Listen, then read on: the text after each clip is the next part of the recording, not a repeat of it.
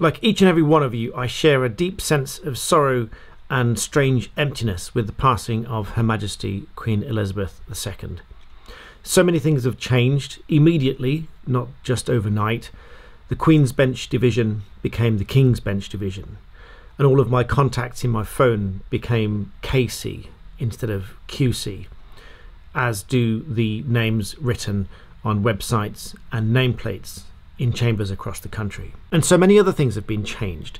Events cancelled, or at least postponed, or if they continue, they do so with a sense of mourning, sorrow, and loss. But the one notion that I would like to share with you, because it's been the single honour of my life to serve under Her Majesty's court services, and will be to serve under His Majesty's court services moving forward, is that Her Majesty would have wanted us all to carry on.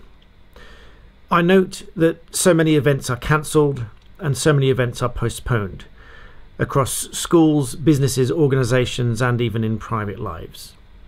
The notion that I would like to share with you is that Her Majesty would want us all to carry on. As her steadfast, lifelong servitude and duty would demand. And I think we should all do what Her Majesty would have wished, which is to keep calm and to carry on.